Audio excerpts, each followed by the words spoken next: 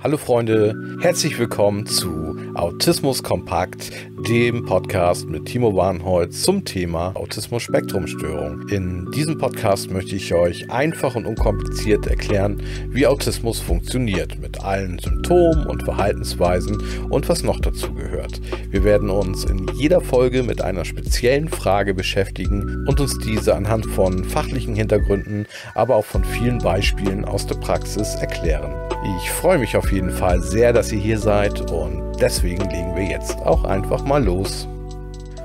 Und heute sind wir mit folgendem Thema befasst, nämlich mit den Besonderheiten in der Wahrnehmung. Da habe ich euch ja schon ein bisschen was drüber erzählt in dem Video zum Thema Reizüberflutung. Und ähm, ja, was so die Grundlage von dem Ganzen ist, da schrauben wir jetzt einfach nochmal zwei, drei Meter zurück. Also grundsätzlich reden wir ja bei autistischen Menschen von einer sogenannten offenen Wahrnehmung. Das bedeutet, die Wahrnehmung ähm, ist nicht so fokussiert wie ähm, die Wahrnehmung von äh, neurotypischen typischen Menschen. Das wiederum bedeutet, ähm, Reize werden relativ ungefiltert wahrgenommen. Das heißt, so diese breite äh, Wand an äh, Wahrnehmungsreizen prasselt so auf das autistische Gehirn ein. Und es wird halt hier nicht genau geguckt, welcher Reiz ist jetzt besonders interessant oder welcher Reiz bringt mir jetzt gerade wirklich was, also im Sinne von einem auditiven Reiz wie einem gesprochenen Wort, das gerade besonders wichtig ist, weil die Information gerade wichtig für einen ist oder weil vielleicht eine Frage gestellt wird, ähm, die man dann auch beantworten möchte natürlich. Ne? So, und ähm, dementsprechend ähm, ist es manchmal ganz schön schwierig für autistische Menschen, so zu verstehen, was Menschen jetzt eigentlich genau sagen, wenn sie äh, was sprechen, weil halt so viele Nebengeräusche ähm, noch im Raum sind, wie zum Beispiel ja ein Lüftungsgeräusch oder das Klackern in der Heizung oder auch wenn Fenster auf Kipp ist, die Vögel, die davor sind, der Wind, der weht, die Blätter vom Baum, die sich hin und her wiegen. All das sind sehr, sehr, sehr stark ablenkende Reize und da kommen ja auch noch andere Reize zu. Ne? Wir haben ja die ganzen verschiedenen Reizverarbeitungsapparate. Zum Beispiel gibt es ja noch die Augen, die die ganze Zeit volle Granate mit irgendwelchen Lichtimpulsen beschäftigt sind und die auch alle verarbeiten müssen, zusätzlich zu diesen ganzen Geräuschen, die im Raum schweben. Und dann wird die Sache immer komplizierter und komplizierter, denn die verschiedenen Reize, die potenzieren sich ja, also werden immer stärker und das Gesamtbild, das gesamte Rauschen, das so aufs Gehirn einprallt, das äh, wird auch immer größer. Ne? Und dann äh, kommen die ganzen Gerüche dazu, denn Menschen riechen ja auch unterschiedlich, Räume, Menschen, Tiere, alles riecht unterschiedlich und das sind wieder Beanspruchungen Beanspruchung fürs Gehirn, die wir auch mit einrechnen müssen. Und dann sind es Wahrnehmungen über die Haut, zum Beispiel Temperatur oder ähm, wo ich gerade sitze oder vielleicht habe ich auch gerade eine Irritation auf der Haut, wie ein Mückenstich oder so. Und dieser würde dann auch sehr stark wahrgenommen werden, wie allerdings auch die Temperatur und irgendwelche Feuchtigkeitsgeschichten, ähm, die vielleicht auf der Haut passieren im Sinne von Schwitzen oder dass man gerade irgendwie eine Flasche Wasser in der Hand hat, die ein bisschen übergelaufen ist. All das muss ja auch verarbeitet verarbeitet werden. Dazu kommen dann weitere Reize, wie zum Beispiel die Reize so im Bereich der Propriozeption. Da geht es oft darum, Tiefenwahrnehmung, also ähm, wie fühlen sich meine Muskeln, Sehen an, meine Stellung äh, zum Raum wird darüber reguliert.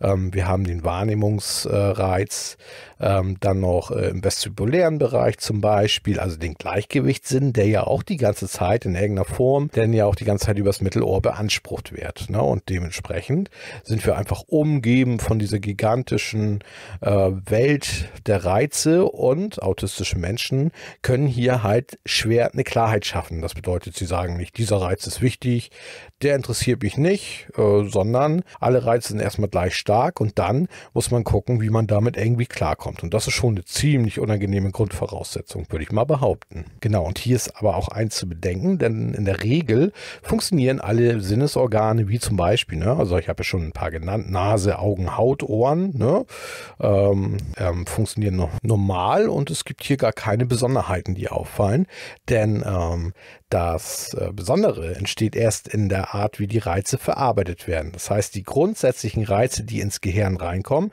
sind ganz normal äh, durch den Eingang reingekommen, wie sie halt auch bei neurotypischen Menschen den Weg in den Kopf quasi finden. Und zusätzlich zu all diesen Geschichten, also man kann sich einfach vorstellen, dass äh, wir in einem Raum sind, wo immer alle Lichter an sind oder wir sind in einem Raum, wo immer alle Geräusche übers Mischpult leicht laut gedreht sind, ähm, wo sich verschiedene Temperaturen, äh, Feuchtigkeiten begegnen. Also es ist für neurotypische Menschen auch wirklich so gut wie gar nicht nachvollziehbar, denn äh, das neurotypische Gehirn fängt ja sofort an, den Autofokus zu setzen, wie das zum Beispiel eine gute Kamera auch macht. Das heißt, es wird sofort immer automatisch das in den Fokus gerückt, das für uns gerade wichtig ist.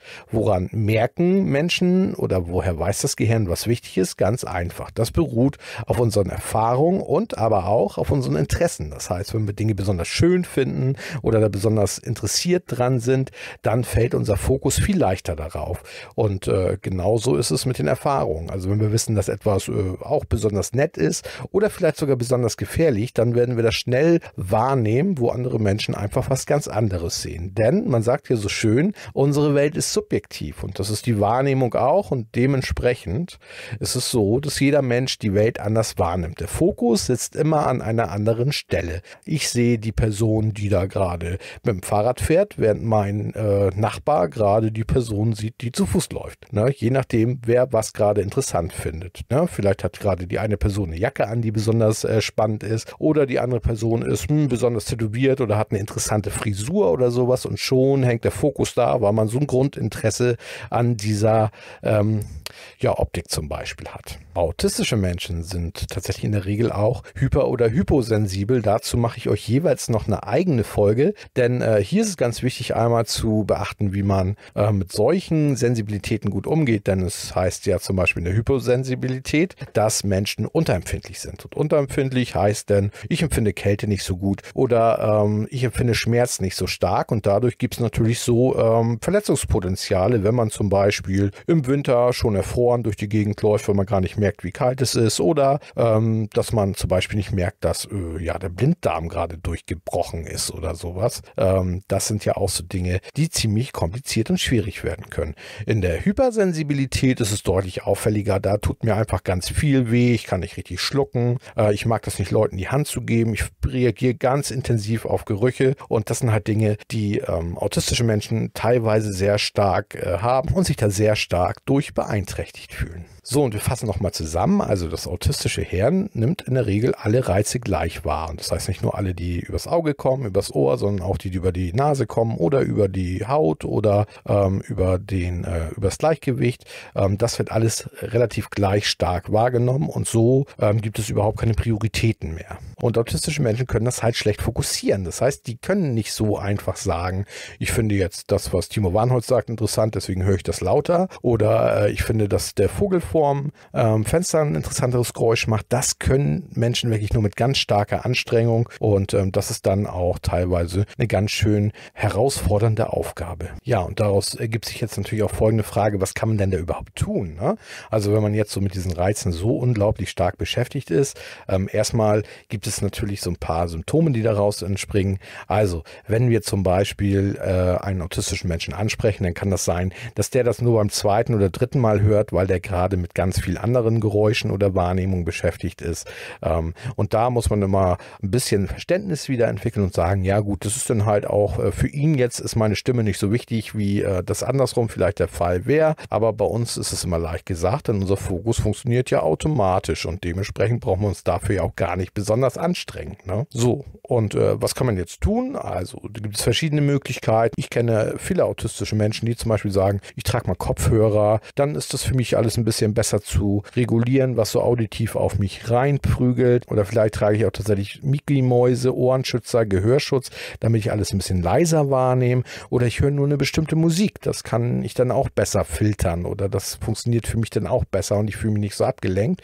Und das gleiche gibt es natürlich auch mit, äh, ich trage eine Sonnenbrille oder bestimmte Kleidung, die nicht so drückt, wenn ich zum Beispiel sehr sensibel bin auf meine Haut oder so, also in der, in der taktilen äh, Wahrnehmungsverarbeitung. Und so gibt es heutzutage schon viele, viele Möglichkeiten, um das so einigermaßen zu regulieren. Und das kennt ihr auch bestimmt zum Teil dann schon aus der Schule. Dort gibt es ja die sogenannten Nachteilsausgleiche. Das bedeutet, da äh, dürfen dann Kinder zum Beispiel, die sagen, ich bin total überfordert mit diesen ganzen auditiven Reizen, ähm, so Kopfhörer tragen. Und äh, moderne Schulen haben das schon, dass dann durch diese Kopfhörer nur die Stimme der Lehrkraft zu hören ist, die dann in ein Mikrofon spricht. Das wäre so ein ganz klassisches Beispiel. Oder dass man vielleicht in der Ecke sitzt, weil man sich dann besser konzentrieren kann und nicht die ganze Zeit im peripheren Sichtfeld äh, Menschen vorbei huschen sieht und das einen wieder durcheinander bringt. Ähm, oder wie gesagt, sämtliche Formen vom Gehörschutz ist auch immer eine richtig tolle Geschichte.